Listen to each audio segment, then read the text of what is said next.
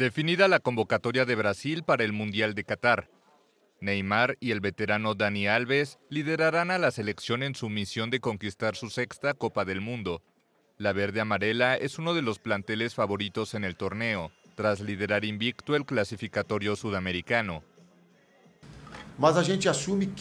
Asumimos que Brasil es uno de los favoritos y mi opinión es que sí, es uno de ellos. Sí, él es uno dos.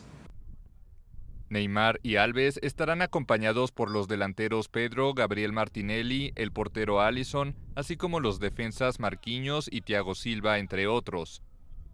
Destacan las ausencias del atacante Roberto Firmino y el centrocampista ofensivo Philippe Coutinho, lesionado recientemente durante un entrenamiento del Aston Villa. Para vencer alto nivel, tú tienes que tener creación y gol. Para vencer en un alto nivel necesitamos la creación de gol, es fundamental. Tenemos un gran grupo de atletas convocados en ese sentido, pero eso no quiere decir que la consistencia defensiva, tener un equipo fuerte defensivamente no genere el punto de equilibrio para vencer. Esa es nuestra idea, pero claro que su buen momento determinó su convocatoria. determinó esa convocación. De los 26 convocados, 16 se estrenarán en una Copa del Mundo, mientras que con 39 años, Dani Alves será el jugador de mayor edad de Brasil en un Mundial.